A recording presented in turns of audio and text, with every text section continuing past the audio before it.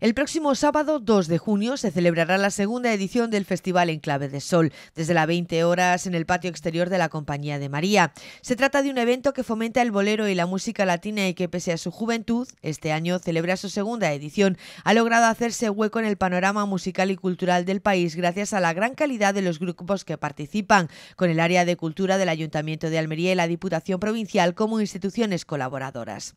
Con el aval del éxito de la primera edición, este año el festival incorpora la marca Costa de Almería para unir turismo y cultura bajo un sello de calidad que atraerá a centenares de visitantes hasta nuestra provincia para disfrutar de las actuaciones de los grupos Almenara, Son del Malecón y La Trova. El concejal responsable del área de Cultura, Educación y Tradiciones del Ayuntamiento de Almería, Carlos Sánchez, por su parte, ha querido recordar que la primera edición ya fue un éxito absoluto, por lo que se puede decir que muy pocos festivales y apuestas culturales se pueden asegurar que ya están consolidadas con la segunda edición. En este sentido, Sánchez ha destacado el trabajo que hay detrás de esta iniciativa y lo importante que es tanto para instituciones públicas como empresas privadas colaboren en torno a la cultura, puesto que está más que demostrado que el rédito de invertir por la cultura revierte siempre en mayor medida. Es un producto hecho desde Almería, por gente de Almería, pero que ya mueve a mucha gente de fuera.